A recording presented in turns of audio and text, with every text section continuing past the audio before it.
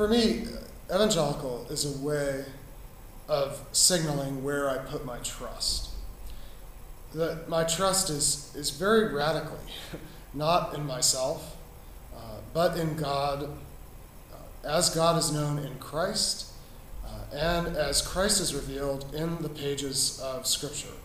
That, that I am fundamentally committed uh, to the trustworthiness of the Christian story, the Jewish and Christian story as told in Scripture, uh, and that I'm fundamentally committed to putting my trust in this man named Jesus, who, who I believe uh, died and was raised from the dead. Um, and evangelical is just a, a, name that's become associated with that kind of profound commitment to put my trust uh, in that person and, and also in this amazing collection of writings uh, that span a millennia or, uh, or more, um, that it seems to me are the most trustworthy guides we have uh, as to what God is like, what human beings are meant to be, uh, and how we can be what we were meant to be. I think we have a number of uh, weaknesses that, in a way, go along with the strengths of American evangelicalism.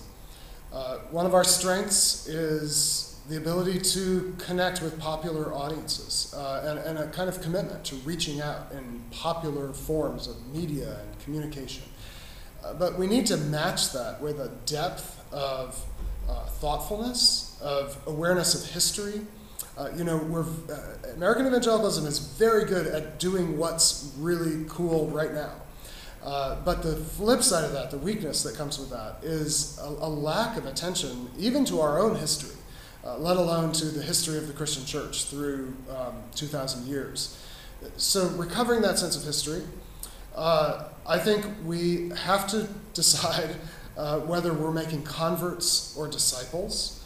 Uh, if all we make is converts, that is, people who've had a, a significant, even, uh, experience of uh, coming to faith, but we don't give them the ability to follow up that conversion with a lifelong process of transformation, American evangelicalism will be, it will remain uh, very shallow. Uh, I think the other thing we're really good at doing, uh, I'm surprisingly good at doing still, is building churches. And it's very important to build good, healthy, growing churches. Uh, but we're not as good at figuring out what our role is in contributing to the culture outside the walls of the church. And so, in 10 or 20 years, I would love to have us be known as people who are absolutely integral to the health of our communities, um, rather than just um, you know, a tax exempt parcel of land that draws people in out of the community. But that really, when th- people think of evangelical Christianity, they would think of engagement in the things that matter to our neighbors, whether they're Christian or not.